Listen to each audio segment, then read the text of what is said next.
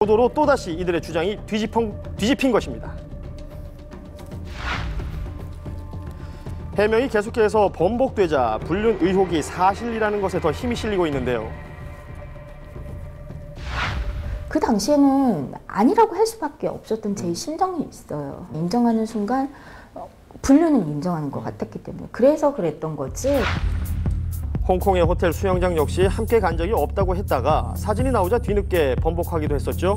이성 친구는 있을 수 있죠. 그 친구하고 수영장 가지 않는다 그 얘기잖아요. 아, 그리고 그 호텔은 탈의실이 따로 없이 객실에서 옷을 네. 갈아입어야 된다고 하는데 네, 그 말은 좀 제가 뭐 말하기가 조심스럽죠. 음. 음, 그런 디테일한 부분.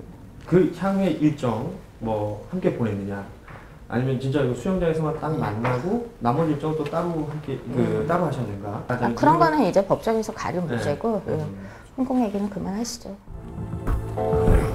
이런 태도가 불륜 의혹을 더 가중시켰는데요. 김 씨의 남편 역시 바로 이 점을 지적했습니다.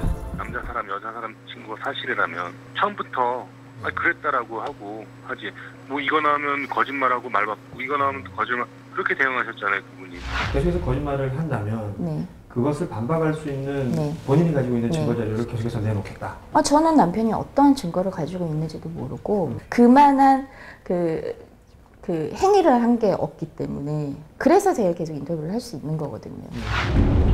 남부러울 것 없던 그녀가 지금은 불륜 스캔들의 주인공이 되었는데요. 강용석 씨와의 인연에 대해서 후회는 없었는지도 조심스럽게 물어봤습니다. 저는 뭐 뭔가를 후회하진 않아요. 후회하는 성격은 아니에요. 좀 더제 처신이 좀 바르고 음, 뭐 그런 아까 그래서 번복했던 부분 같은 게 없었으면은 좋았을 좀 좀 더 나았을 거라는 생각은 들지만 특별히 누구를 원망하고 후회하고 그런 거는 전혀 없어요. 강용석 변호사와의 관계는 어떻게 유지하실 생각이신가요? 그 강은숙 변호사님은 그렇게 이상한 사람이 아니에요. 뭐 너무 그렇게 비춰주는 것처럼 이상한 사람은 아니거든요. 만약에 굉장히 깊게 친밀하게 뭐 이렇게 사람들이 말하는 것처럼 불륜으로 사귀었다면은 이 관계가 끝이 나야 돼요.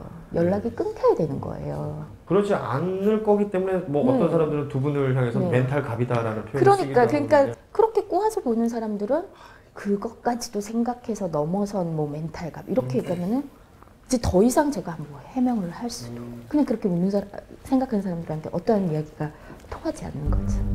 끊임없이 새롭게 제기되는 의혹들 과연 진실은 무엇일까요? 좀 더 지켜봐야겠습니다. 저거는 저 정도는 불륜은 아니야라고 생각하는데 그렇게 불륜으로 단정을 짓고 바, 바라봐 주지 않으셨으면 좋겠어요. 조금만 한 발짝 물러서서 생각해 봐 주시면 안 될까.